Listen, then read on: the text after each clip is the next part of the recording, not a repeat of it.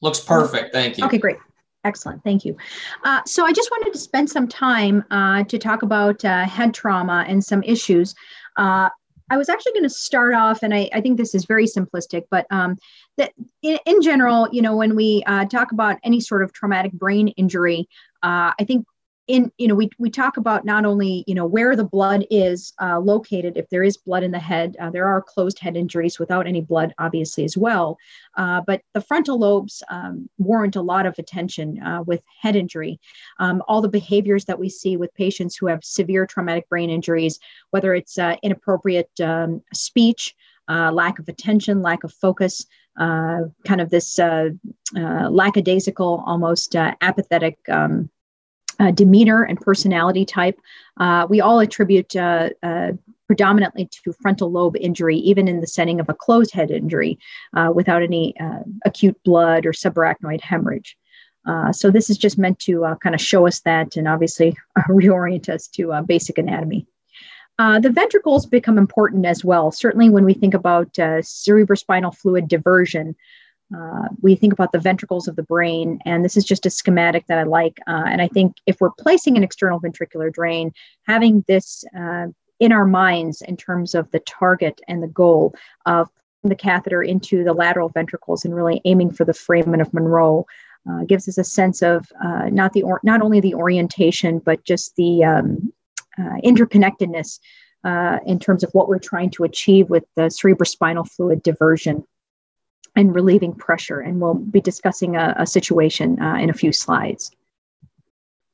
So this is very simplistic, but you know when we think about uh, blood in the head, uh, I think trauma oftentimes is an area that seems uh, you know relatively simple or straightforward and you know um, almost tedious. And I would just say I think if you think about the value we have in the broader society and just uh, our ability to um, command value as a specialty. Uh, I think a lot of it has to do with our ability to deal with traumatic situations in a timely fashion.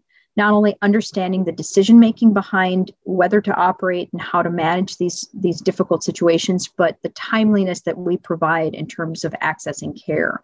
And I think that can't be understated. Uh, I think oftentimes we think of trauma uh, you know, as sort of this this knee jerk. We just we we see blood, we we, we kind of know what the path is. But I think increasingly what we're finding as we study some of these conditions, like subdural hematomas, that there's actually a lot of variability, and there might be different ways and different pathways that we can try to manage patients, um, whether or not they're surgical upfront. And so I think there's a lot more to be said in terms of more research in this area and clinical research as to how we approach these problems. Uh, but this schematic basically shows us on the right-hand portion of the screen, you know, we uh, can see intracerebral, intraparenchymal hemorrhages within the brain parenchyma, caused often by the small vessels, uh, as you can see here, uh, deep in the brain oftentimes. We can also see intraventricular hemorrhages, either primary or uh, spillover from an intracerebral or intraparenchymal hemorrhage subarachnoid hemorrhages in the in the bottom of your screen. You can see uh, oftentimes are layering uh, around the sulci. A subdural hemorrhage uh, is uh, one of our most common um, commonly seen uh, issues uh, which is obviously below the dura typically venous bleeding oftentimes in elderly individuals who have significant atrophy and because they have atrophy and more space between the brain and the inner surface of the dura, uh, they tend to have a, a you know, almost a, um, a fertile environment to have a, you know excessive blood accumulate. And so this is you know obviously something i would say that's our bread and butter as neurosurgeons is uh, managing patients with subdural bleeds and epidural bleeds, blood uh, that accumulates outside of the dura, the covering of the brain. And we typically associate this with uh, arterial bleeding and fractures, oftentimes are associated. And, uh, you know, these are the uh, kind of infamously famous uh, bleeds that we have to um, monitor, either monitor closely or, or act, intervene uh, quickly, as these patients can deteriorate rapidly. So I was actually going to take a minute to talk about uh, non-operative head trauma because in the grand scheme of things, I think uh, what we often see are the sequela of concussions and, uh, you know, quote unquote, uh, closed head injuries. And there's lots of terminology uh, that's synonymous with concussion, but mild traumatic brain injury, et cetera. And I think what's fascinating to me is as we learn more about even what we classify as mild traumatic brain injured patients, uh, symptoms can last uh, for many months, even up to a year and a half, two years. And I think this is an area that perhaps uh, as we learn more, I think we'll get a lot more recognition for all the sequela that can happen. Uh, I think when we think someone's had a concussion, they haven't lost consciousness, um, we're apt to think that several weeks you know should be fine and they should be get they should be able to get back to baseline. But as i said i think increasingly uh, for those of us who follow these patients in um, in the long term and ask questions related to some of these issues you know whether it's headache uh, fatigue uh, any sort of amnesia, confu- confusion, dizziness, and even taste or smell disturbances. Uh, these can persist for some period of time, even after the initial head injury. So you can see on the right side of your screen, uh, you know, we think about different types of head injury or the mechanisms of head injury. Um, certainly can cause blood in the head, as the left-sided image shows, uh, acceleration, deceleration injuries, etc um, all important as we think about how we will manage these patients going forward.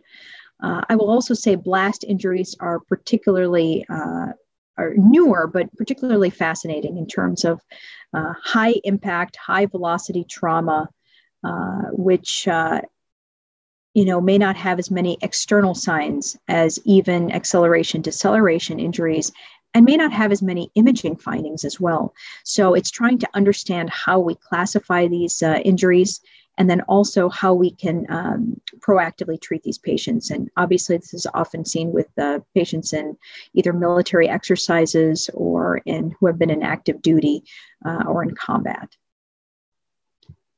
Did you want me to take questions at the end or as we go along? I wasn't sure. I'll just keep going and we'll take questions at the end. Uh, and just briefly, you know, post-concussive syndrome is uh, again something I think uh, we, you know, you will see a lot, uh, you know, in practice. And I think it's um, this is an opportunity I think for for neurosurgeons as well because uh, post-concussive patients can often be managed by uh, other specialties, you know, physical medicine and rehab, neurology, et cetera. But I think having neurosurgical involvement is very important. Um, certainly, you will see this uh, with patients and identifying what is a post concussive uh, symptom versus what is something more sinister is very helpful. It will guide your ability to manage, reassure patients, and also know when appropriate times are to obtain imaging or further evaluation. Now, what's important to understand, as we were talking about, is post concussive syndrome symptoms can last for a lengthy period of time after an initial injury. So I think it's developing comfort, and this comes with, you know, obviously seeing these patients and, and following them. Um, developing a comfort for understanding what a spectrum is of normal. Uh, you know, patients can have persistent memory issues, cognitive issues. We often see uh, vision, especially with uh, tablets, iPhones, computer screens that are bright. Um, patients will talk about blurred vision, double vision, uh, which you know a lot of it has to do as well with the uh, with the type of um, monitor that they might be using. So we do see that with patients who have had uh, a quote unquote mild head injury. Uh, now, anything concerning, that is to say, symptoms that just seem out of proportion with the initial injury or several months after weeks after, obviously persistent vomiting, any of those are danger signs and warrant further workup, often starting with an initial head CT to make sure nothing has changed. If there is known intracranial blood, that that hasn't expanded, and certainly if there isn't any sort of new issue that might have emerged after the initial event. Um, patients can have other issues and multiple issues. After an injury you can see patients who have a stroke or you know have an expansion of a known bleed. So i think keeping that in the back of our minds is always helpful helpful as we see these patients. Now i just made a point here about recovery um, because again i think even when you're talking to your family, uh, you know, when folks have had a head injury, mild or even moderate, um, sometimes severe, uh, they might ask you, you know, what can be done or what should be done. Uh, in general, this is what you know we suggest to patients. Um, you know, remain well hydrated. Uh, we encourage. Hey everyone, Ryan Rad here from neurosurgerytraining.org. If you like that video, subscribe and donate keep our content available for medical students across the world.